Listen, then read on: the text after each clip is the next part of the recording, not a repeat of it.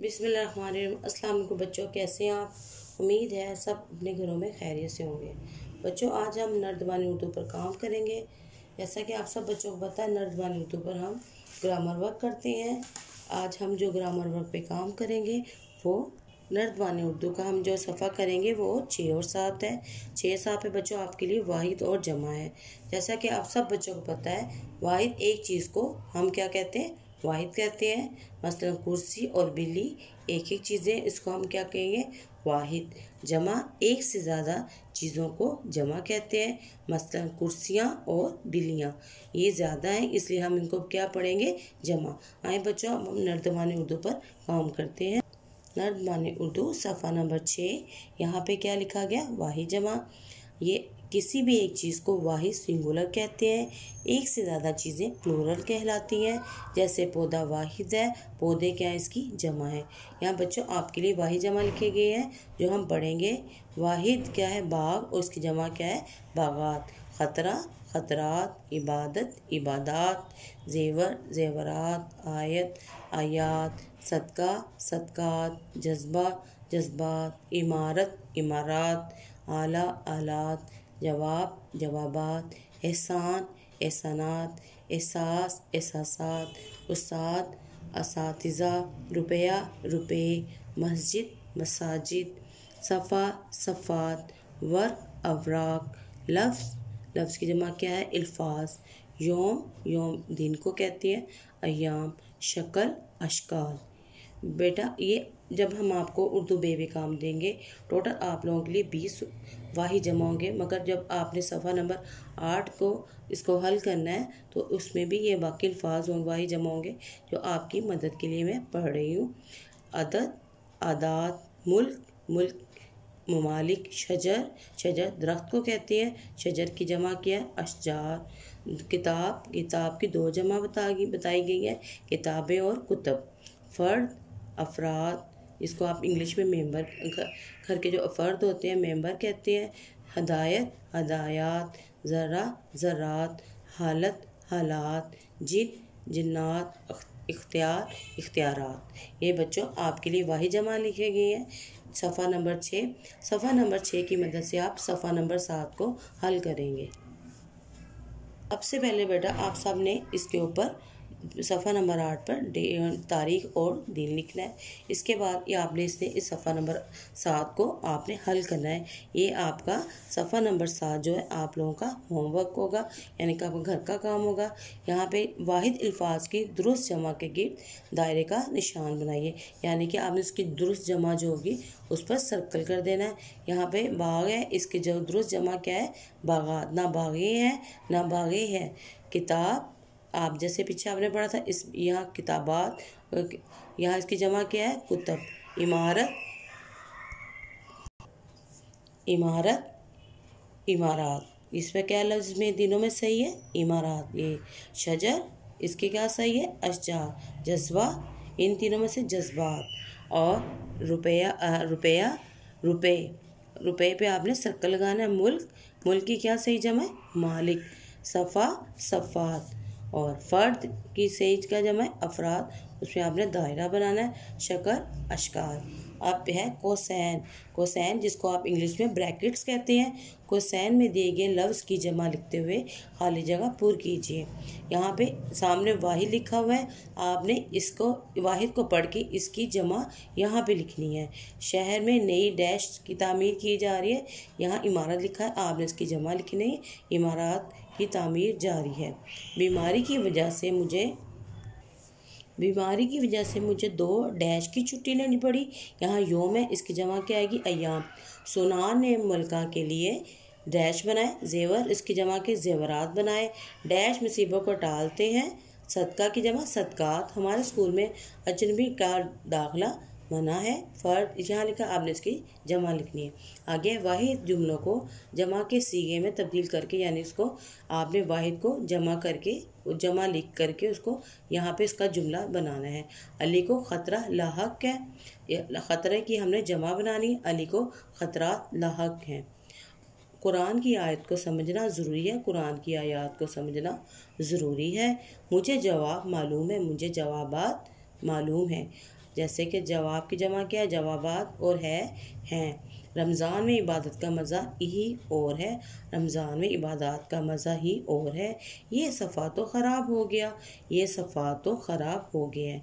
बच्चा, बच्चों, ये आपका सफ़ा नंबर सात है और आप लोगों ने इसको हल करना है। अब आपको हम सफ़ा नंबर अब आपका एक और काम है, वो है सफ़ा नंबर दस और ग्यारह, उस पर आप सब बच्चों की बानी उर्दू सफ़ा नंबर दस और ग्यारह। मजाद अल्फाज किसी लफ्ज़ का उलट उसका मजाद कहलाता है, यानी कि एक आप जो सीधी बात कहते हैं, उसको उलट जो होता है, उसका मजाद कहते हैं। मसलन, दिन है, उसका उलट क्या होगा? रात। अमीर है, उसका उलट क्या होगा? गरीब। लफ्ज़ के अल्फाज को, उलट को क्या कहते हैं? मजाद आइए हम बच्चों, हम सफ़ा नंबर दस और ग्यारह देखते हैं। सफ़ा नंबर दस, मजात अल्फाज किसी लफ्ज़ का उलट रसीद उसका मजात कहलाता है, मसलन अच्छा और बुरा, साफ़ और गंदा वगैरह। जैसे कि यहाँ पे आप बच्चों, आपके लिए अल्फाज मज़ा लिखे गए हैं।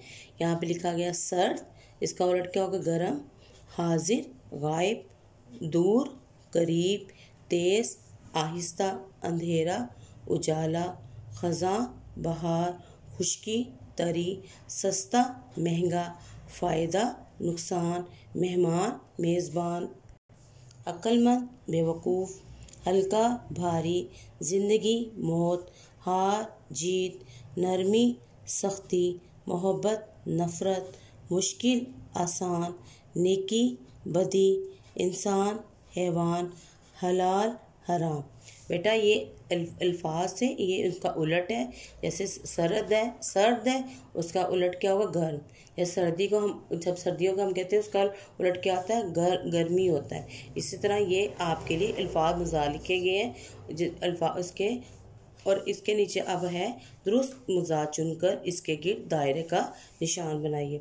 आपने इसका दुरुस्त यहाँ से ये तलाश करके यहाँ पे आपने इसका, आपने दुरुस्त जो होगा मुजाद उस पर दायरा लगाना है। यहाँ पे लिखा हुआ है, ज़िंदा, बंद, मुबतला और मुर्दा। इसमें बेटा क्या दुरुस्त है? इसमें दुरुस्त है, ज़िंदा का उल्ट क्या होगा? मुजाद मुर्दा। ताकतवर। ताकतवर का क्या होगा? जोरावर, कमज़ोर, हल्का। इसका क्या होगा? कमज़ोर। ऊपर, हल्का, उड़ना और नीचे। ऊपर का उलट क्या होता है? नीचे। आपने इसमें दायरा लगाना है। नरमी, गर्मी, सख्ती और नौकरी। तो किस पे बेटा दायरा लगेगा? सर्कल? सख्ती पे। समझदार, सोचना, जहीन ना समझ समझदार का क्या होगा? ना समझ आगे है लाइक। लाइक का उलट का, क्या होगा? अक्लमंद, नालायक या फाइक। क्या इसका उलट होगा लाइक का? नालायक। खुश मिजाज, कम मिजाज, बद मिजाज, नरम मिजाज। इसका उलट क्या होगा? बद मिजाज। ख्वाब, असल, हकीकत, दिन। ख्वाब का क्या होगा? असल। सखी, नकली, कंजूस या भारी। किस पे सर्कल लगेगा दायरा? कंजूस पे। वफादार, बेवफा, शफा या सच्चा। बेवफा पे क्या होगा? सर्कल लगेगा। आपका ये सफ़ा नंबर दस पे दस है और सफ़ा नंबर ग्यारह।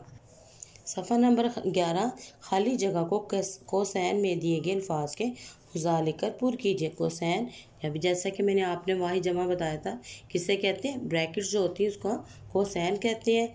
मेरा घर स्कूल से बहुत डैश है, इसका आपके सामने हमने अल्फाज लिखा हुआ है। आपने यहाँ पे इसका उलट लिखना, करीब का क्या था? दूर है। चौकीदार ड्यूटी पर ना, डैश ना हो सका। यहाँ गैर हाजिरा तो यहाँ क्या आएगा? हाजिर। आज का मुकाबला लड़कियों ने डैश लिया, क्या कर लिया? हार लिया। हार का क्या होगा? उलट जीत लिया। सॉरी बेटा, हार का उलट होगा जीत। मौसम बहुत डैश हो रहा है।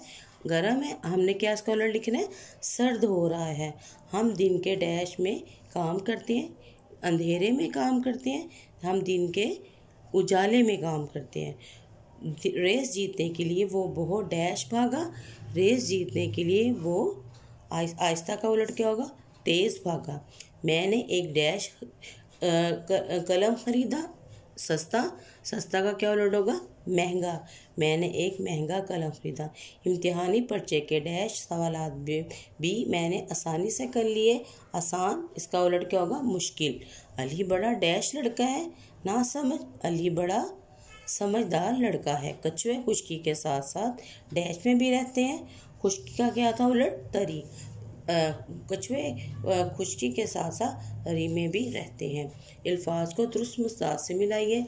ये आपने इसको आपस में मिलाना है। यहाँ अल्फाज मोहब्बत का क्या होगा? आपने नफ़रत, मस्बत मस्बत का आप सबको पता है। मस्बत क्या क्या होता है? मनफी, मेहमान मेहमान का क्या होगा? मेज़बान। इब्तदा, इंतहा, अक्लमंद, बेवकूफ़, ज़िंदगी, मौत, दोस्ती, दुश्मनी, स्याह और सफ़ेद। बेटा, ये आपका सफ़र नंबर ग्यारह है। आप लोगों को ने सफ़र नंबर ग्यारह और सफ़र नंबर आप लोगों ने सात को हल करना है। ये बच्चा आप, बच्चे, आपके लिए होमवर्क है। अगले लेक्चर के लिए मुझे इजाज़त दे दिए। अल्लाह हाफिज़।